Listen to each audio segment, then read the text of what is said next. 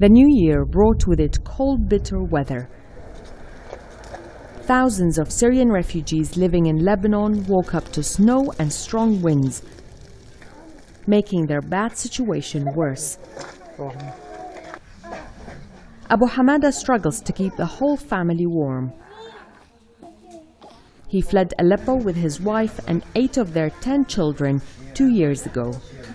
When his two daughters lost their husbands in the war, they both followed with their children. Fifteen of them now live in one tent, and winter is more than a struggle.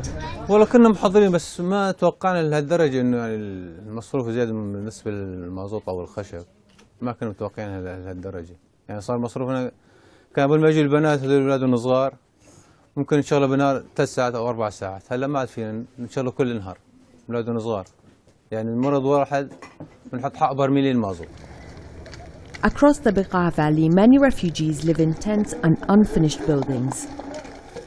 Aid agencies distribute fuel and shelter reinforcement months ahead of winter. But bad weather can damage tents and cause settlements to flood. The number of years that refugees have stayed here means that they're facing increased vulnerabilities. All of their savings have been depleted. Uh, many have moved into the settlements because they're cheaper than living in flats or apartments in town.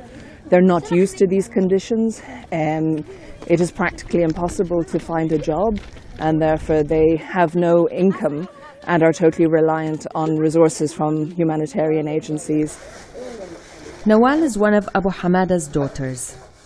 She fled to Lebanon with her three children after her parents did.